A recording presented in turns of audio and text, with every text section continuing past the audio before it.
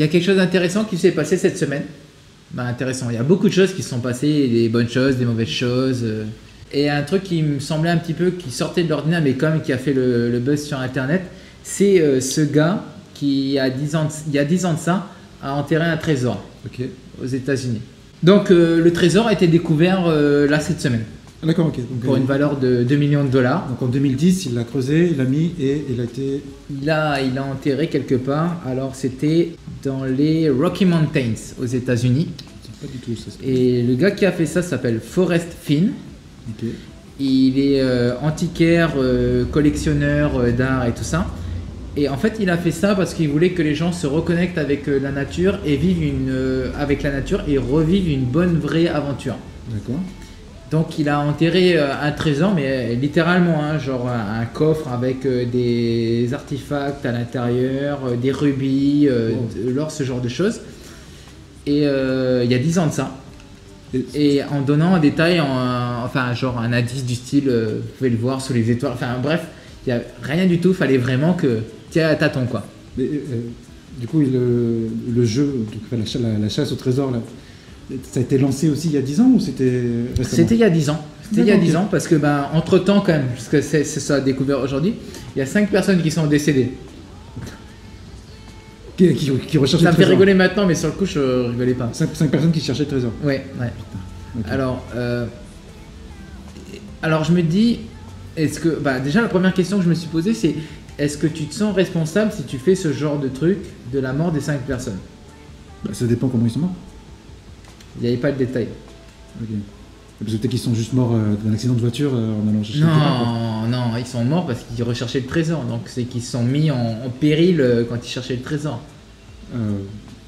Alors, je me suis posé la question. Hein. Je me suis dit, voilà, je fais ça demain, je cache un trésor, tu sais, en partant d'un bon, d'un bon sentiment.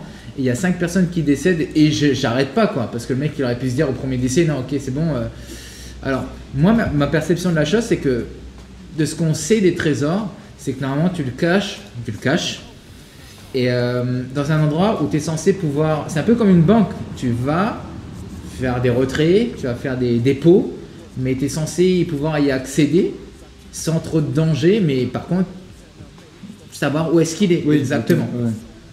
Donc, je, il a une part de responsabilité parce que ces gens-là seraient jamais décédés s'ils cherchaient pas le trésor. Mais d'un autre côté, s'ils sont mis en danger, pour moi, c'est qu'ils ont peut-être été trop loin dans la recherche. Parce que pour moi, la définition du trésor, c'est que tu le caches à un endroit précis, mais pas forcément dangereux. Enfin, tu es censé y revenir souvent, quoi. Après, euh, en 10 ans, il y a plein de choses qui peuvent changer. euh, la nature du sol. euh, tu vois, t'es que inconsciemment, toi, tu, naïvement, tu vas cacher ton trésor. Toi, tu serais décédé, toi. Ouais, mais il y a des chances, il y a des chances. Non, mais voilà. Non, non, mais je veux dire, tu vas cacher ton trésor et euh, dans une forêt ou machin, sous un caillou, et euh, une tempête passe, euh, le blizzard, je sais pas quoi, ça peut modifier la nature du, du- de l'environnement où il se trouve. Donc, toi, toi, tu peux pas anticiper sur tout ça. Ouais. À part, à part si tu te caches dans le désert en disant, bah voilà, il n'y a rien qui pourra, à part des, des serpents ou je sais pas quoi. Mais... Et, et c'est pour ça que justement, c'est pour ça que je, je te dis, le, normalement, tu es censé, si c'est ton trésor, en tant que pirate ou n'importe qui cachait des trésors, il, il revenir régulièrement. Et si le terrain change et qu'il devient dangereux, dans ce cas-là, tu changes d'endroit. Ouais, mais si tu changes d'endroit, tu changes des indices. Tu, enfin, tu as toute une Mais organisation. justement, il n'y avait euh, pas réellement d'indice. hein. Ah, le, le seul indice qu'il avait été au début, c'est qu'il est, sous- il est visible sous les étoiles. En gros, c'est dans les Rocky Mountains. Ah, je dirais que c'est kiff kiff. hein. Bah, pour moi, voilà, moitié, je- moitié, je- euh, voilà. c'est pour ça que je dis, il a sa part de responsabilité parce que ces gens, ils sont pas décédés pour rien parce qu'ils sont partis après le trésor. Mais après, euh, ils ont peut-être eux été trop loin dans la. Oui, ils n'ont pas, ils ont pas été Enfin, prudents. tu quoi. sais, il y a Oui, dif- il y a- enfin, pour moi, un, trésor, c'est, comme je te dis, hein, un trésor, c'est vraiment quelque chose que tu caches parce que euh, tu, euh, comment dire, comment dire ça, tu, tu comptes y revenir. Tu sais, les mecs, ils ont peut-être vu ça comme euh, un petit peu les, genre les films La Momie ou un truc comme ça où ils vont chez les, c'est les Égyptiens et c'est plein de Oui, cachettes alors, de du coup, à la Indiana Jones ou des trucs comme ça. là. Ça, ça dépend aussi de son intention à lui. C'était pas un pirate, donc il comptait pas revenir se servir de son trésor. Quoi, tu vois donc c'était il a vraiment caché pour que les gens le retrouvent. C'était un trésor. C'était pas genre des, des, des- des- une civilisation qui cachait des choses pour la Oui. cacher au monde. Euh, et donc voilà, et euh, j'ai trouvé ça intéressant parce que je me suis dit, on revient à quelque chose d'old school. Aujourd'hui, on parle de racisme et de, et de guerre et de Virus. police qui de font pas leur, euh, tout barre en couille, sans parler du coronavirus. Et là, il y a un gars, aujourd'hui, qui refait surface parce qu'il a caché un trésor et ce trésor a été trouvé. Ah, Le mec est toujours en vie. Ok. hein. Ils n'ont pas dit euh, s'il avait mis sa vie en danger ou quoi que ce soit, mais il s'avère que non. Par contre, le gars était pas fou, c'est que tout ça normalement est, est répertorié. Donc, si on le gars le retrouvait, il fallait quand même qu'il aille au propriétaire et donc euh, pour qu'il sache qu'il avait été trouvé, parce que le mec n'allait pas non plus euh, forcément tous les jours vérifier. euh, Voilà, donc le, le- le trésor a été trouvé. Et je me suis dit, ça faisait un. Enfin. C'est un peu dommage pour. Enfin, c'est un peu dommage. Pour les cinq personnes qui, qui sont dit peut-être euh, il faut y aller extreme pour euh, trouver le, le trésor. Surtout qu'on faut pas oublier qu'on est aux États-Unis. hein. Donc ils ont tendance un petit peu des fois à s'emballer sur le. sur tout et n'importe quoi. Et euh, en fait, le, le sujet était intéressant. Il m'a fait pendant deux secondes rêver à me dire bah, ok, bah, ça serait cool de tomber sur un trésor. Ouais. Donc, en vivant en ville, en- entre le bitume et les, les poubelles, où ça Peu de chance. Mais euh, et si euh, je trouvais pas un trésor, mais j'en laissais un ouais. Et pas forcément un trésor financier. Et là, tout le monde va se déconnecter en disant Carré. Ok, il parle plus de thunes là, c'est bon, allez, on se casse là. Mais s'il y a une chose qu'on sait, c'est que le savoir se transmet Mhm. et que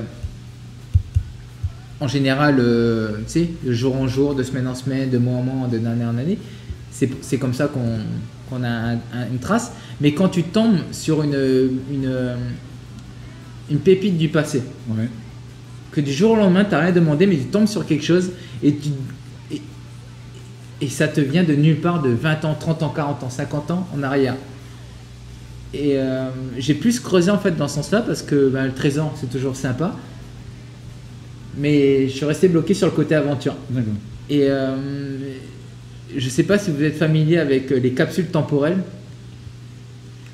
Oui. Ce sont des boîtes, de préférence hermétiques, où vous mettez des objets à l'intérieur pour que d'autres personnes dans le futur puissent les trouver. Alors je me suis dit pourquoi pas transmettre un petit peu de quelque chose de positif. Leur transmettre quelque chose de positif Comme. que le gars qui ouvre la boîte, si jamais ben, il n'est pas au meilleur de sa forme, qu'il tombe pas sur une mine. Je suis tombé sur un truc métallique. Oh putain Ne lève pas le pied C'est bon, c'est une boîte Milo Non mais voilà, vu que euh, voilà, une capsule temporelle, parce qu'elle porte son nom, on se dit forcément, ah bah Oui, oui. on veut on veut partager euh, des souvenirs d'époque. Non, tu peux partager quelque chose d'autre. Donc je me suis dit, ce que je vais partager, c'est. Donc on s'est bien compris, hein, c'est que je transmets pas, j'envoie pas quoi, genre un VHS ou une cassette, un truc comme ça, en disant à l'époque on écoutait des VHS. euh. Ok, c'est bon. Ce que je vais transmettre, c'est.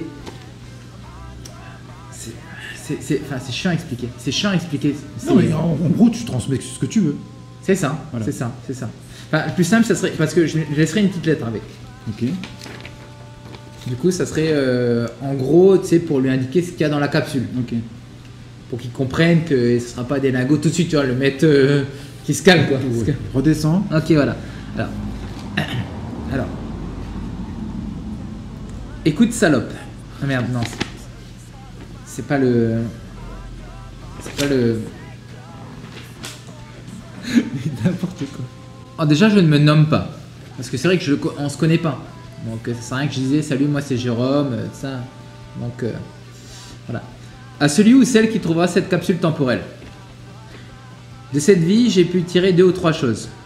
Les conseilleurs ne sont pas les payeurs, disait mon père, mais notre Gus a aussi dit un homme averti en vaut deux. Alors prends ce qu'il y a à prendre et le reste sera une bonne histoire à raconter. Je n'ai pas la prétention de dire que le contenu de cette capsule est indispensable, comme il m'a été, mais s'il peut participer d'une manière ou d'une autre à mettre un peu de couleur lorsque les jours sont gris, ça sera la petite tape sur l'épaule qui me suffit. Alors, tu trouveras un bouquin. Le nom du bouquin, c'est Always Looking Up de Michael J. Fox. Alors, on connaît tous Michael J. Fox parce que c'est un acteur, mais il a fait des bouquins parce qu'il euh, est atteint d'une maladie, maladie de Parkinson. Dans ce bouquin, il, a, il va parler de la maladie, de la famille, de l'addiction, de la joie, la mort, la détermination. Et un des éléments indispensables dont tu as besoin, c'est de ressentir quelque chose pour vivre. Survivre, on sait tous faire, mais vraiment ressentir, c'est là où démarre euh, un début de vie. Puis de toute façon, lire, ça arrange. Ça, c'est toujours un plus. Hein. tu vois aussi, il est par là, un harmonica. Parce que la solitude, c'est pas forcément négatif. On le voit pas forcément, mais dans chaque situation, il y a du positif à en tirer. Voilà. Donc, euh, apprendre à aimer être seul. Et euh, tu auras aussi 1000 balles pour aller te payer une bière. Alors, ça peut paraître simple, hein, les 1000 balles pour se payer une bière, mais je ne savais pas la troisième chose à mettre jusqu'à cet après-midi. J'ai été voir mon oncle et il m'a filé 1000 balles en me disant ce soir tu iras boire une bière. Voilà, tiens, va te boire une bière. Et c'est pas tant l'argent, j'ai 35 ans, c'est bon, je peux me la payer ma bière. C'est pas tant les 1000 balles. C'est juste que quand quelqu'un te connaît et qui te donne exactement ce qui te fait plaisir, le geste est d'autant plus important. Alors donner, mais donner intelligemment. Donc un, récapitulatif, il faut savoir vivre, apprendre et donner.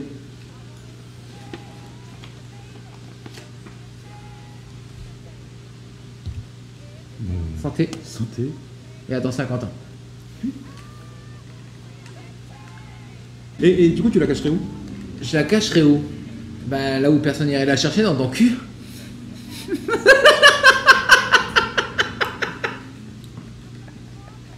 Pardon, c'était facile. On la refait si tu veux. Non.